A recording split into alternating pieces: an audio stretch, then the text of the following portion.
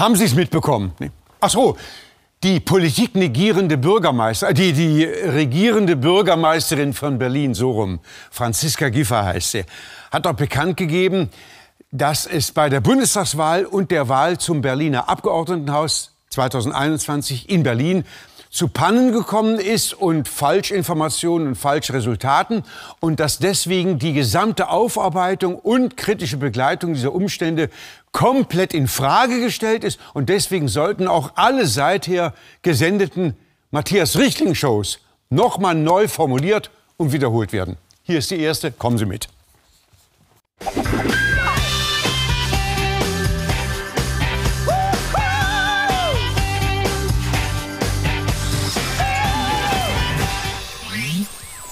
Von wegen, liebe Zuschauer.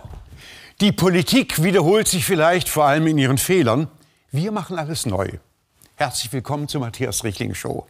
Weil wir wissen, dass der Mensch sich täglich ändert. Zumindest in seiner Meinung. deswegen ist ja auch eine Wahlwiederholung völlig sinnlos, weil eine Wiederholung der Wahl muss ja wiederholen, was vor einem Jahr war.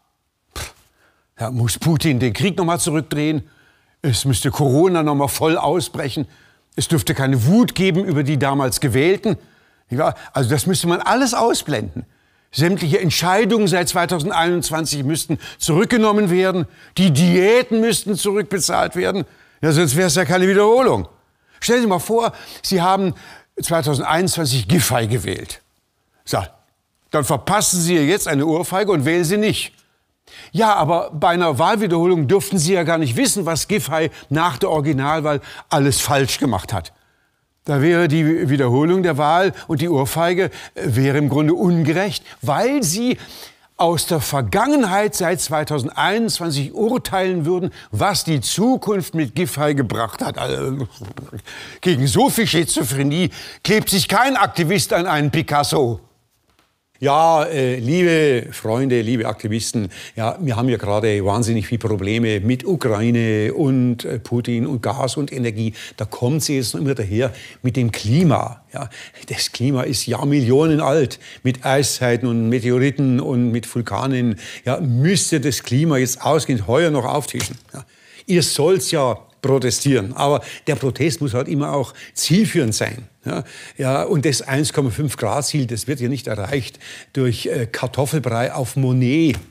Da denkt der normale Museumsbesucher, äh, ach, da ist was faul jetzt mit dem Gemälde, mit dem Bild, mit dem Maler, mit dem Museum, mit den Farben. Da geht er nach Hause, schmeißt alle Bücher weg über Monet und Picasso und äh, lässt seine Kinder nicht mehr in Malunterricht. Und wenn die ihm dann selbstgemachte Gemälde schenken zu Weihnachten, dann ja, schmeißt er es in die grüne Tonne. Das muss doch nicht sein. Ja, ja, ja, ja. Ja, ja, ja, der, ja, der Klimawandel ist natürlich dramatisch. Das sieht man an euch, an der letzten Generation. Da ist ja das Hirn durch die Sonneneinstrahlung dermaßen ausgebrannt, gell, dass, naja, ja, komm, äh, sich auf die Straßen setzen und den Verkehr stoppen fürs Klima wo man weiß, dass stundenlang stehende Autos ja mehr CO2 raushauen, wie wenn man also einfach losfährt. Das ist schon saublöd. Gut, man kann sagen, ihr seid jung und ich, also ich war auch immer, na, eben nicht. Gell. So jung wie ihr war ich ja nie. Gell. Weil die Straßen zu verkleben und die Bilder zu verkleben. Ja? Und dann mit der Forderung, äh, die hören wir da auf, äh, wenn wir das 9-Euro-Ticket kriechen oder die 100 Kilometer auf Autobahn. Wenn wir euch nachgeben, da kommt ihr doch als nächstes und sagt, wir kleben uns nur dann nicht mehr an den Picasso, wenn wir ein Pokémon kriechen oder Gummibärchen. Das ist einfach Kindergarten. Das ist nichts Erwachsenes. Wenn ich da denke an die 80er Jahre Demonstration, da, ich habe da jedes Mal aktiv zugeschaut. Ja. Da waren die Jugendlichen, erwachsen haben die sich in den Dreck gesetzt von Wackersdorf, haben sich an die Schienen gekettet, um die Atomtransporte zu stoppen. Das war körperlicher Einsatz. Ihr setzt euch ins warme Museum, bringt noch Essen mit. Kartoffelbrei mit Tomatensauce. Das ist ja, ihr, euer, euer Protest soll nicht viel Mühe machen. Statt dass ihr euch setzt in die Tagebaugruben, ja, verratzt reinsetzt da, äh, das ist, äh, haut ihr euch ins warme Museum, ja, äh, ja, gut, ein paar waren in Bayern im Knast, ja, kalt war es da auch nicht. Was? Ja, ja, Ja, ihr, ihr, ihr, ihr seid verwöhnt. Und wenn ihr euch weiter auf Straßen klebt und an Bilder, dann gibt es für uns nur eines, weil ihr wie die Verrückten ja seid. Wir müssen die ganzen Psychiatrien für euch verlagern in die Nationalgalerien. Ja? Und die ganzen Kunstwerke kommen in die Klapsmühlen. Und statt Windräder und Photovoltaik und Atom gibt es bei diesen ganzen blockierten Autobahnen nur noch eines, der Ausbau von Flugtaxis. Und der Angriff auf die Kultur des Klimawandels wächst sich ja weltweit aus zu einem Angriff auf die Kultur insgesamt. Nicht das Begleitprogramm zur WM erinnert uns jeden Tag, wie unsere Kultur der Gleichheit, der Demokratie, der Allgemeinheit, der freien Wahlen mit Füßen getreten werden, wo andere nur die Füße am Ball sehen wollen. Der WM-Botschafter Khalid Salman ist hier für eine Rechtfertigung. Ah, da sind Sie ja schon, Herr Salman. Bitte nehmen Sie doch Platz. Ja. Herr Salman, viele Anliegen des Westens verstehen Sie ja gar nicht, wie wir gemerkt haben. Und äh, no, noch in der, äh, das ist umgekehrt. Mhm. Viele Anliegen von uns, der Westen, versteht nicht. Ah, nun haben Sie neulich in einem Interview gesagt, Homosexualität sei eine Schande und ein geistiger Schaden. wo ist das Problem? Ja, dass Sie gleichfalls gesagt haben, Homosexuelle würden in Katar bestraft mit Peitschenhieben und Gefängnis. Aber wie wollen Sie sonst umgehen mit einem Haram, mit einem Sunde? Wenn Sie absurderweise sagen, Homosexualität sei ein geistiger Schaden, genau. dann sehen Sie sie ja als Krankheit. Genau. Gegen eine Krankheit gehen Sie vor mit Peitschenhieben? Wenn, wenn Homosexuelle ihre Krankheit benutzen, um Lust aus ihren geistigen Schaden zu ziehen, dann machen sie aus ihrer Krankheit eine Sünde und dann ist das doch noch der, der richtige Weg. Sie ignorieren ja Menschenrechte auf ziemlich drastische Weise. Und Weil wir uns uns leisten können. Ach. Unsere WM hat 220 Milliarden gekostet. Ja. Das ist die teuerste WM aller Zeiten. Hm. Ihre WM, Sie haben gehabt eine in Deutschland 2006 gewesen. Da hat nur 2% gekostet von unserer WM. Das heißt, unsere, noch, noch, äh, noch, äh, unsere Welt ist reich und normal. Natürlich, es gibt Welten, die sind nicht reich und normal und können sich nicht unseren, noch, äh, Monsieur, unseren Menschenrechten leisten. Was sind für Menschenrechte bei Ihnen? Aussortieren von Kranken und Maroden und Debilen und äh, Perversen und Homosexuellen. Sie in Deutschland, Sie haben hohe Verschuldungen, Sie haben hohe Kosten, Lohn und äh, haben hohe billige WM gehabt und sie können sich hohe nichts leisten. Sie müssen sich zufrieden geben, machen dann noch äh, mit Menschenrechten äh, wie Gleichstellung von Perversen und von Frauen. Für den Luxus, diese Gruppen auszuschließen, fehlt ihnen das nötige Kleingeld. So, ich breche das Gespräch an dieser Stelle ab. Obwohl man zugeben muss, dass auch bei uns das Menschenrecht der freien Wahl sich manchmal erübrigt, wenn wir an die Bundestagswahl und Berlin und an die Wahlwiederholung denken. Franziska Giffey wird uns dazu ein paar Sachen erläutern.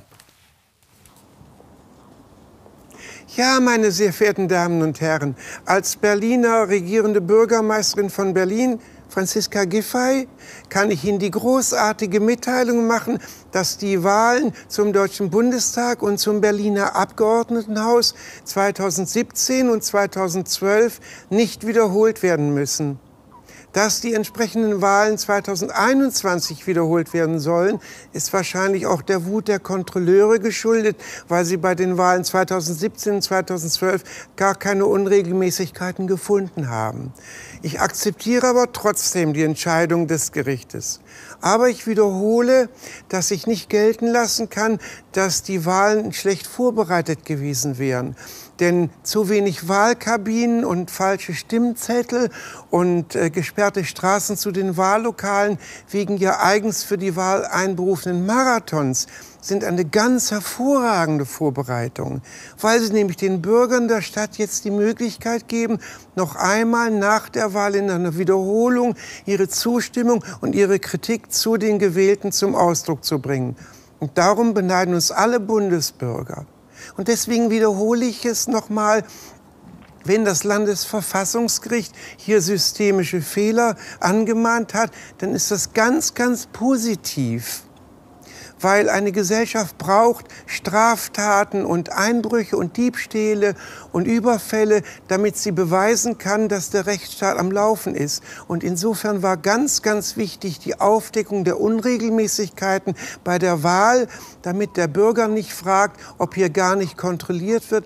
Denn dass alle Wahlen seit 1949 ganz reibungslos abgelaufen sind, das ist Menschen unmöglich.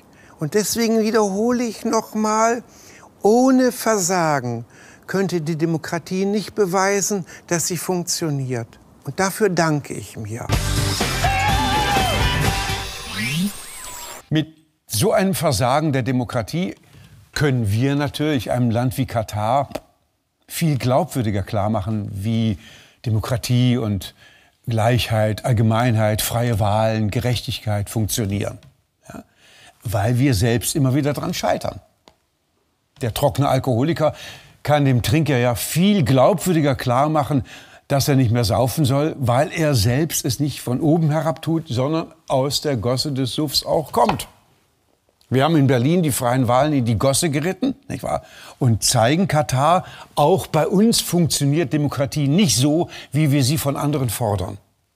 Aber wir machen was draus. Auch bei uns können eigenwillige Meinungen fast zum Ausschluss aus einer Partei führen, aber die Partei macht etwas draus und lässt trotzdem den Wähler zum Beispiel einen eigenwilligen Boris Palmer zum Wahlsieger machen. Ja gut, also, sehr verehrte Zuschauer und Wähler. Mit überbordender Genugtuung können wir festhalten, dass die Bilanz der letzten Zeit grün ist Es war eine Ohrfeige für Sie. Durch das Bewusstsein der Existenz von Klima als DNA der Grünen war es möglich, bei der Weltklimakonferenz in Ägypten nichts zu entscheiden, was ein ungeheurer Erfolg ist, wurde durch dadurch verhindert, einen Rückschritt einzuleiten hinter die Klimakonferenzen von Glasgow und Paris. Und deshalb... Ja, eine solche Ohrfeige war das für Sie. Strobel, was ja. haben Sie eigentlich ja. da mit Ihrer Ohrfeige? Ja, ja, für das, was Sie in Ägypten bei der Weltklimakonferenz nicht geleistet haben, wurden Sie im Kleinen abgestraft durch einen von Ihnen, der durch radikale grüne Politik eine Wahl haushoch gewonnen hat. Ja, und gegen den Sie ein Parteiausschlussverfahren am Laufen haben. Ach, wer soll denn das bitte sein? Palmer. Boris Palmer, Ach. der hat sie bei der Oberbürgermeisterwahl in Tübingen in Sack und Asche gestellt. So war das. Ja, ja, hätte mich totlachen können. Wo ist denn der Palmer? Radikal grün, das können Sie mir mal sagen. Der der hat in Tübingen hat er viermal so viel CO2-Reduktion wie Sie in ganz Deutschland mit Ihnen in der Regierung. Deutschland ist auch 4000 Mal größer wie Tübingen. Ja, ja. Und er hat zum Beispiel eine Solarpflicht für Neubauten. Und wir haben eine Neubaupflicht für Solaranlagen. Ja, Straßenbeleuchtung hat er auf LED gesetzt. So. Ach, ja. Sie wissen ja gar nicht, was LED heißt. Ach, komm, Busfahren ist in Tübingen am Samstag kostenlos. So. Dann fahren Sie doch in Tübingen am Samstag Samstagbus. Und er plant statt Straßenlicht Bewegungsmelder einzuführen. Ja. Mhm. Und warum gibt er den Bürgern nicht gleich Taschenlampen in die Hand? Das täte mich interessieren. Ja, ja. ja, lenken Sie nicht ab. Ja. Sie wollen ihn nur aus der Partei haben, weil er den Erfolg hat, den Sie nicht mal haben beibringen können in der Weltklimakonferenz. Das ist der wahre Grund, Herr Kretschmann. Dann nehmen Sie ihn doch, wenn Sie ihn so toll finden. Wir haben ihn schon. Wir haben bei der Oberbürgermeisterwahl in Tübingen keinen Kandidaten aufgestellt von der CDU. So, jetzt wissen Sie es. Warum geben Sie ihm dann ein kein Parteieinschlussverfahren? Weil er CDU-Anliegen besser bei den Grünen vertritt, wenn er da bleibt, natürlich nur. also Das ist jetzt wirklich ein Grund für Palmers endgültigen Ausschluss. Jetzt reicht es mir total. Das macht, das macht nichts, ja. Denn um CDU-Anliegen zu vertreten bei den Grünen haben wir da immer noch unser bestes trojanisches Pferd. Wer soll das denn sein? Herr Kretschmann, 15 Mal dürfen Sie raten.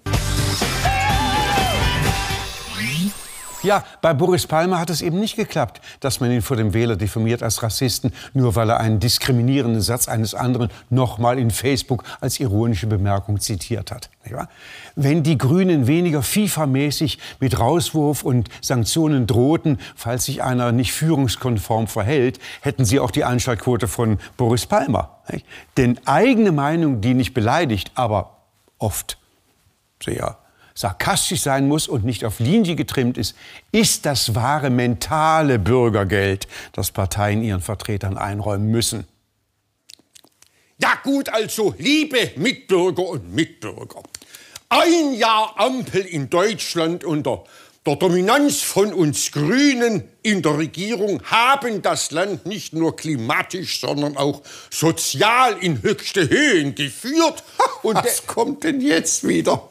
Durch uns Grüne in der Regierung wurde die Aufwertung des Bürgers vorangetrieben, indem wir endlich Hartz IV durch das Bürgergeld ablösen und da haben wir von der CDU aber kräftig die Suppe versalzen. Probe, bitte. Ja, ja, ja. Das Bürgergeld kommt genauso wie wir Grüne es in etwa schemenhaft peu à peu uns ausgedacht haben. Eine Einbildung haben Sie. Wir von der CDU haben das Schonvermögen herabgesetzt von 60.000 auf 40.000. So war es ja, doch. Ja, ja. ja. Welcher Bürgergeldler hat schon 60.000. Sie sind ja naiv. Wir haben es limitiert auf ein Jahr statt zwei Jahre. Das waren wir von der CDU. Ja, ja. Ja, Wer keine 60.000 hat, braucht auch nicht zwei Jahre zum Schonen. Ach, Herr Kretschmann, wir haben Sie doch zerpflückt. Noch Sie wollten erst Sanktionen haben. Nach sechs Monaten wollten Sie die haben. Wir haben Sie zerpflückt.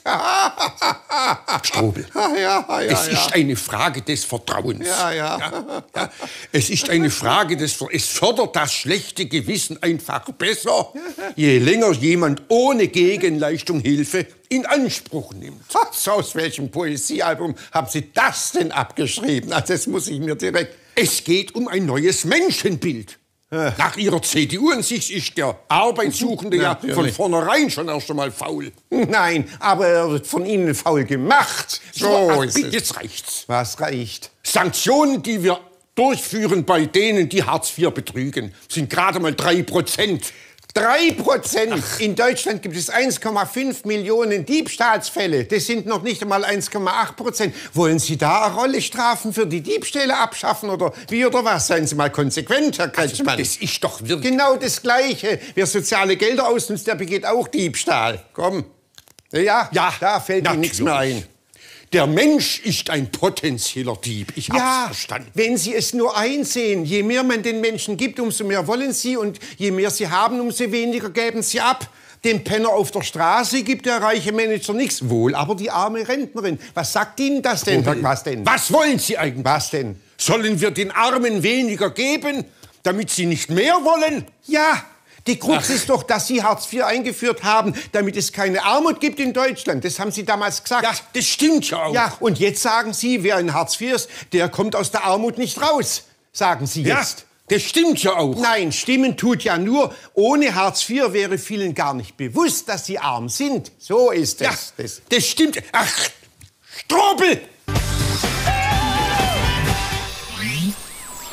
Ja, meine Damen und Herren, ich möchte gern noch mal zurückkommen auf mich als regierende Bürgermeisterin von Berlin, Franziska Giffey, ja, und ich würde gerne noch sagen, dass es vor dieser wichtigen Wahlwiederholung nicht zielführend ist, dass dauernd an mir Kritik geübt wird, dass ich zum Beispiel im Oktober in Berlin eine wunderschöne Lichtshow veranstaltet habe und gleichzeitig aber von den Bürgern Berlins bis zu vier Stunden Energiesparen anmahnte. Aber wo hätten wir bei dieser Energieknappheit denn sonst Strom herbekommen sollen für meine wunderschöne Lichtshow, wenn die Bürger nicht sparen. Und gleichzeitig wiederhole ich aber noch mal, dass diese ganze Wahlwiederholung eine wunderbare Belebung der Stadt ist. Denn Bürger sind ja auch umgezogen, auch innerhalb von Berlin.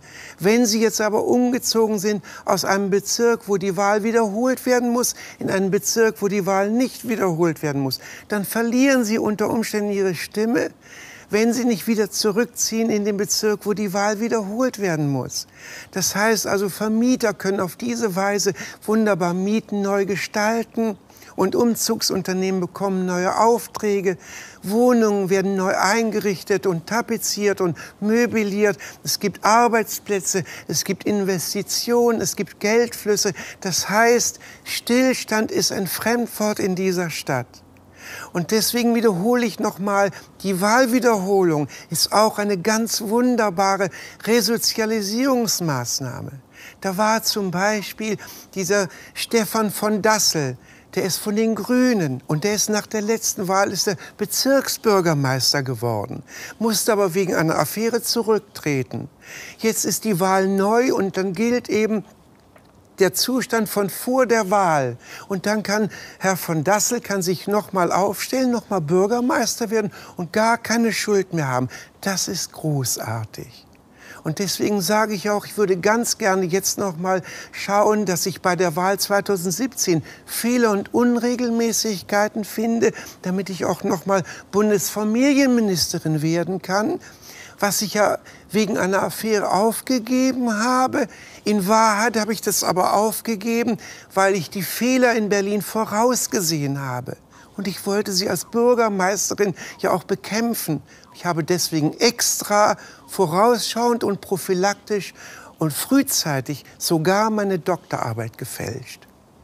Also, ich kann für die Bürger Berlins nur eines sagen, durch die Wahlwiederholung entstehen keine Kosten für sie, denn durch den früher sogenannten Länderfinanzausgleich bekommt Berlin fast 40 Prozent aus dieser Summe. Das heißt, Deutschlands Steuerzahler so, sind immer da für die Fehler von Berlin.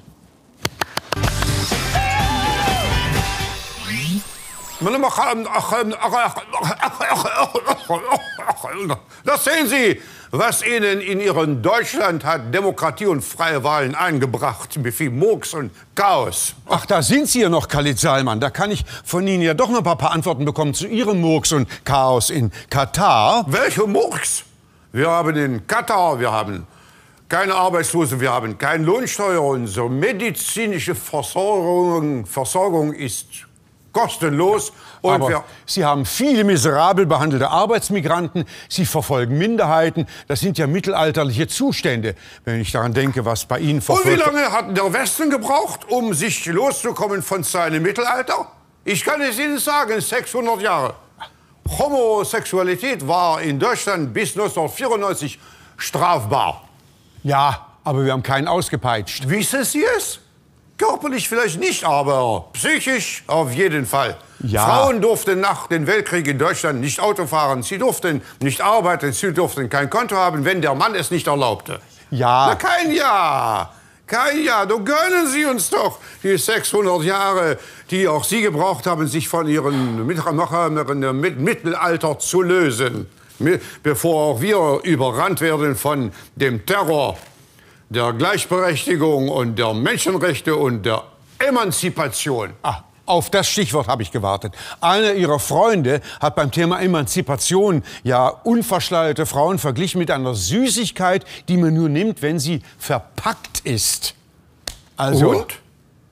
Wenn wir in Katar Frauen brauchen, dann brauchen wir sie zu Hause und dann packen wir sie auch aus. Frauen sind süß. Und sie sind nützlich. Und sie gehören zum Hausrat. Deswegen, deswegen, sie sollen ja auch das Haus nicht verlassen. Sie gehen auch nicht raus und nehmen Töpfe und Putzlappen mit und Tische und Stühle, wenn sie draußen besuchen, noch mal Freunde besuchen und machen Geschäfte machen. Frauen sind Dinge. Das ist bei Ihnen in Deutschland doch ganz genauso. Ah, nein, da waren es Tiere. Wo also, ist der Unterschied? Ich breche das Gespräch jetzt wirklich ab. Dann sollten Sie bedenken, dass bei Ihnen im Westen Deutschland Die Frauen müssen arbeiten, sie müssen sich aufreizend anziehen, sie müssen sich schminken, frisieren und hohe Schuhe tragen, mehr, noch, noch mehr, mehr Unterdrückung von Frauen. Wir können uns in Katar nicht vorstellen. Manchmal ist man froh, wenigstens in der deutschen Politik nur Figuren zu haben wie ein Markus Söder. Und Frauen werden bei Ihnen in Deutschland noch beleidigt und nachgeäfft, indem Schwule und Transen und Homosexuelle herumlaufen in langen Kleidern und mit weiten Röcken. Ja, wir brauchen uns jetzt nicht wundern, dass Katar uns da auf der Nase rumtanzt mit unseren Menschenrechten und Werten und unserer Binde und dann die FIFA noch ungezogen einknickt, wenn wir nicht einmal unsere eigenen Kinder ordentlich erziehen und sie Straßen verkleben lassen und Bilder. Ja, ohne Relation zur Realität, weil der deutsche Ausstoß von CO2 ist ja zwei Prozent von der ganzen Welt. Da werden aber äh, Straßen äh, besetzt und zugeklebt und Kunstwerke werden aufgetischt mit Sättigungsbeilage, damit die deutsche Regierung schnell das Klima einstellt und äh, ja, die ganze Welt gerettet wird. Ja?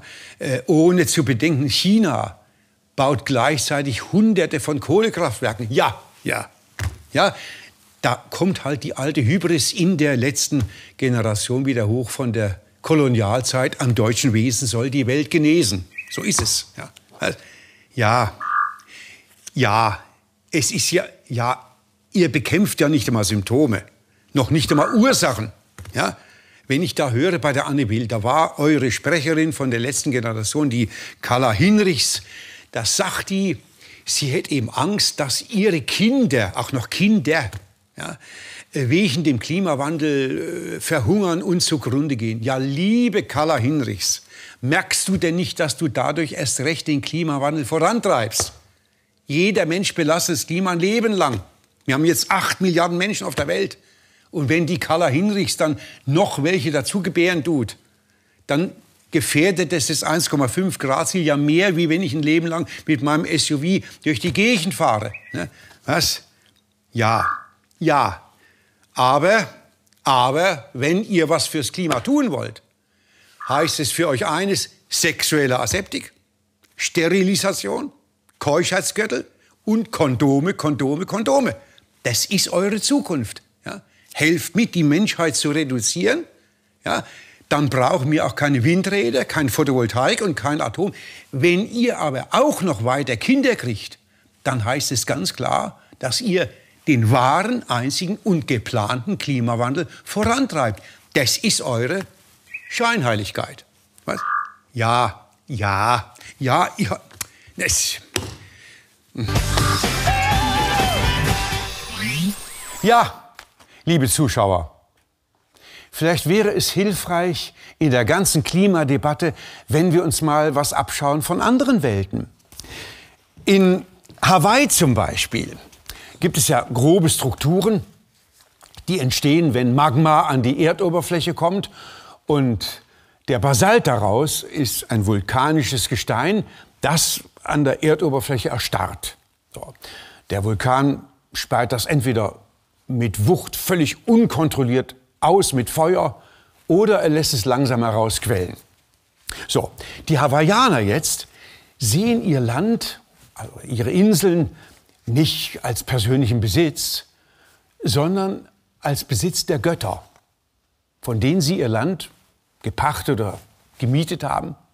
Und diese Götter haben das Recht, ihr Land jederzeit zurückzufordern und neu zu gestalten.